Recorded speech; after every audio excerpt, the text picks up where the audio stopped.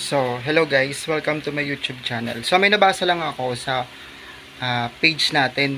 Ah, page ba? Tama page natin, no? Nagreklamo siya na 1K lang daw yung benta niya sa isang araw. So, ano ba yung mga ginagawa mo kung bakit 1K lang yung benta mo? So, magpasalamat pa nga tayo guys eh.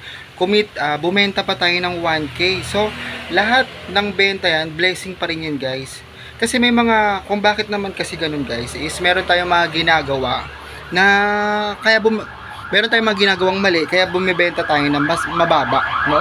Sa akin nga guys so 2 AM na guys no? Ito nga share ko lang naman sa inyo kasi ah, hindi na ako pala sagot sa mga comment comment sa page ko kasi yung page ko na Madam Duday yan super box ng bayan. So yun.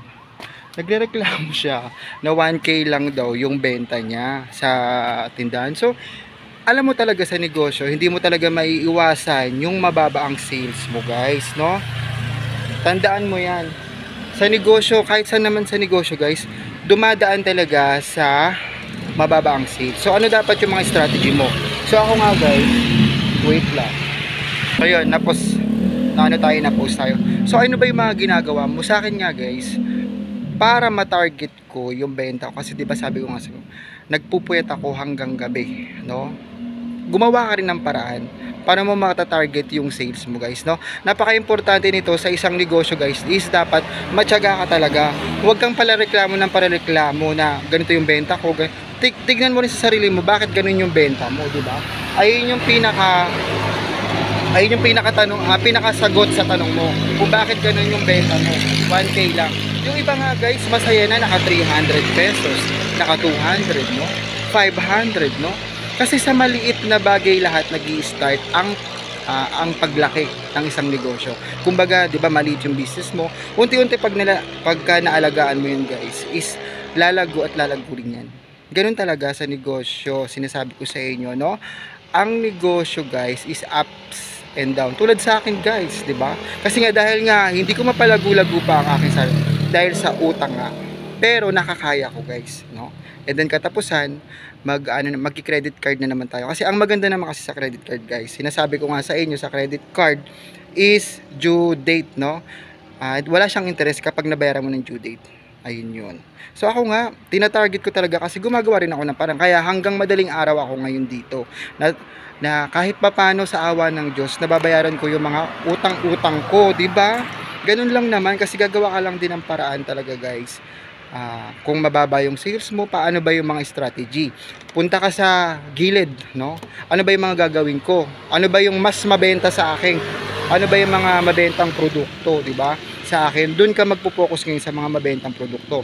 Tulad ko, ang naging mabentang produkto talaga kasi pang madaling araw ako. G- ah, gin, ah, tapos Red Horse, no? Gcash, ayun. Doon ka ngayon mag-focus sa malakas na na binibenta ng tindahan mo. Kasi pag di ka nag-focus no kahit pa paano masisettle mo yung mga jutang-jutang mo. Kung may wala ka man utang or meron kang utang pwedeng pwede to guys no? Kasi nga nagpapa-increase no? Nagpapa-increase ito ng sale mo yung mga laging binibili sa'yo. At malalaman mo yan guys.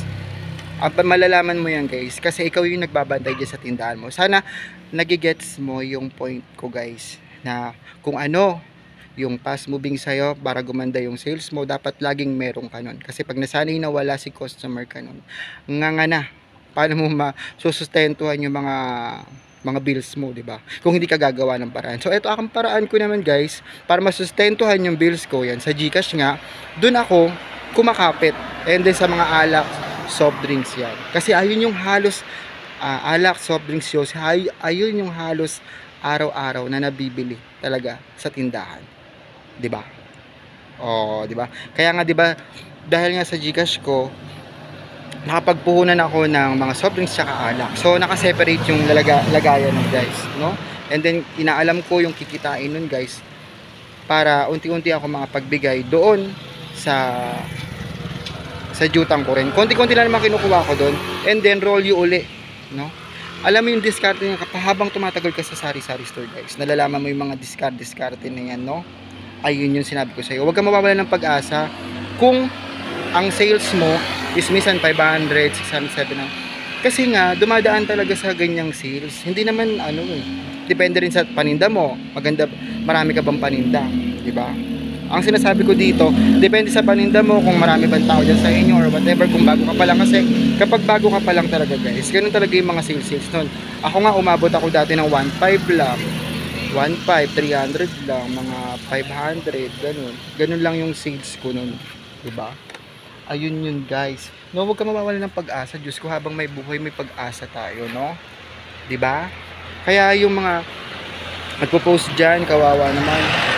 Kawawa naman ang catch. Ito lang yung sales ko. Ano ba yung ginawa mo? Bakit ganyan yung sales mo? Di ba? Dahil ko sinasabi. No? At kung hindi ka pa naka-subscribe dito sa aking YouTube channel, guys, please like, share, and subscribe my YouTube channel para updated ka sa mga bago kong video. Eto, madaling araw na guys, magti 3 na yata. Gising pa ako. At ang gising ko talaga nito guys, alam nyo, minsan 3, minsan 4 na ng hapon guys.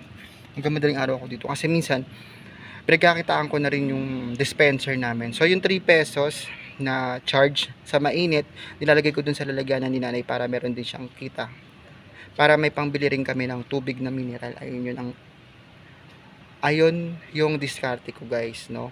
So, madiskarte ka lang tapos yung mga yung mga rekado ni nanay kapag naubusan ako dito, binibenta ko rin yun. Para ngayon, meron, meron din siyang napap, na, may napapala dun si Mother Earth, di ba?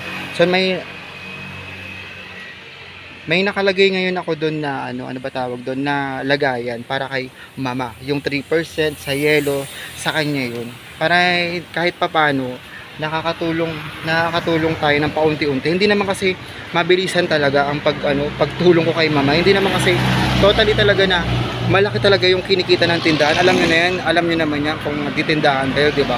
Kaya kung meron kang may itutulong dyan sa family mo, pwede naman magbigay na kahit paunti-unti. Hindi naman ano, hindi naman masama hindi naman magsama na magbigay, di ba, ng paunti-unti. At least kahit pa paano, nasisettle niyo yung mga utang-utang niyo. Kasi nga, alam naman ni mama na may jutang-jutang nga ako.